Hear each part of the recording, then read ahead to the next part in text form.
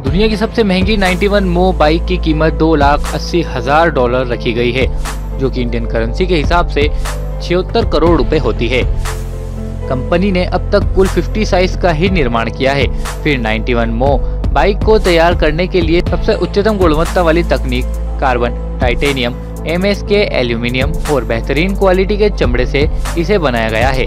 Company ने बताया कि बाइक को बनाने से पहले चार साल का वक्त रिसर्च करने में लगा है।